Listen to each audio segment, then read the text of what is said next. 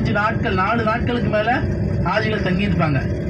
துல்ஹஜுடைய பிறை எட்டு அதே போல பத்து பதினொன்னு பன்னெண்டு. ஒரு நாள் அரஃபாக்கு மட்டும் போயிட்டு வருவாங்க. அரஃபா முஸ்தலிஃபா ஒரு நாள் போயிட்டு வருவாங்க. பகல் இரவும் அரஃபால முஸ்தலிஃபால கழியும். இந்த பாருங்க வலது பக்கமாக வலது பக்கமா வருது பாருங்க. வாதிய மெஹசர் சொல்லக்கூடிய இடம். வலது பக்கமா வருது. வேலி அடிச்சு வச்சிருக்கிறாங்க. வாதிய மெஹசர். அப்படின்னு சொன்னா ஆபிரஹாவுடைய யானை படை அழிக்கப்பட்ட இடம். அல்லாஹ் குரான் சொல்லி காட்டுறானா இல்லையா அலம் தர கைஃப ஃபஅல ரப்புக பி அஸ்ஹாபில் ஃபீல் அலம் யஜஅல் கைதஹும் ஃபீ தல்தீல் وأرسل عليهم طيرا أبابيل ترميهم بحجارة من سجيل فجعلهم كعصف معقول யானை படை அழிக்கப்பட்ட அந்த வரலாறு சொல்லி காட்டுறானே அது நடந்த நிகழ்வு நடந்த இடம் தான் வலது பக்கமா வருது இங்கதான் அந்த ஆபரகாவுடைய யானை படை அழிக்கப்பட்ட இடமாக இருக்குது. நபிசா சொன்னாங்க இதை கடந்து போகும்போது மிக வேகமாக கடந்து போங்கன்னு சொன்னாங்க. அல்லாஹ்வை இஸ்திக்ஃபார் செஞ்சவனமா கடந்து போங்க. அஸ்தக்ஃபிருல்லா அஸ்தக்ஃபிருல்லா அஸ்தக்ஃபிருல்லா அஸ்தக்ஃபிருல்லா அல்லாஹ் மஃபிர்லி அல்லாஹ் மஃபிர்லி மாஷால மினாக்குள்ள வந்துட்டோம். மினாவுடைய எல்கை ஆரம்பிச்சிருச்சு. இப்போ அந்த மினாவுடைய எல்கையில நமக்கு மிக முக்கியமான சில இடங்கள் வருது மிக கவனமாக பாருங்க.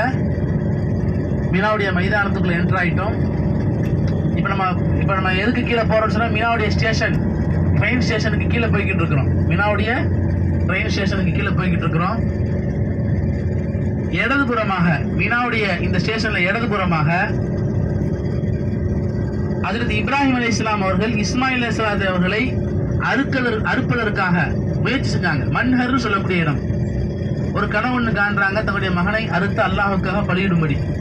ரெண்டாவது நாள் காண்றாங்க இதே கனவு. மூணு நாள் ஒரே கனவை காண்றாங்க. மகனை அறுக்கிறதுக்காக நான் தயாராயிட்டாங்க.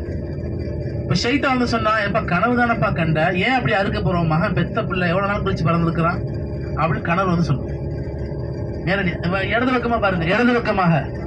அந்த பாருங்க இடது பக்கமா மாஷா அல்லாஹ் இடது பக்கமா மலையில ஒரு சின்ன குப்பா மாதிரி ஒரு சின்ன ஒரு ஹோல் மாதிரி தெரியுது பாருங்க. இடது பக்கமா தெரியுதுங்களா? இதுதான் மன்ஹர் இப்ராஹிம் அலி இஸ்லாம் அவர்கள் இஸ்மாயில் அலி இஸ்லாம் அவர்களை அறுக்க முயற்சி செஞ்ச இடம். மிக மெல்லிய கழுத்து கூர்மையான கத்தியை கொண்டு மகனை அறுப்பதற்காக முயற்சி செஞ்சாங்க. பல முறை முயற்சி செய்யறாங்க ஆனா அறுக்க முடியல. ஏன்? அல்லாஹுடைய கட்டளை கத்திக்கு வந்துருச்சு அறுக்காதன்னு சொல்லி. பல முயற்சிக்கு அப்புறம் ஓங்கி பாறையில் அடிக்கிறாங்க. பாறை ரெண்டு துண்டாக பழக்குது ஆனால் மகனுடைய கழுத்து அறுபட மாட்டேங்குது இஸ்மாயில் இப்ராஹிம் அசாத்துக்கு ஒன்றும் புரியல. உடனே ஜிபுல்லா இஸ்லாம் இறங்குனாங்க. என்ன செஞ்சாங்க ஒரு ஒரு ஆட்டோடு வந்து இறங்கி ஆட கொடுத்து சொன்னாங்க. அல்லாஹ் தஆலா உங்களுடைய குர்பானியை கபூல் செய்து விட்டான் அதுக்கு உங்களுடைய மகனுக்கு பதிலாக இந்த ஆட்டை எடுத்து பலியிடுங்கன்னு சொன்னாங்க. அந்த இடம் தான் அந்த இடம். எழுதி பாருங்க இடது பக்கமாக.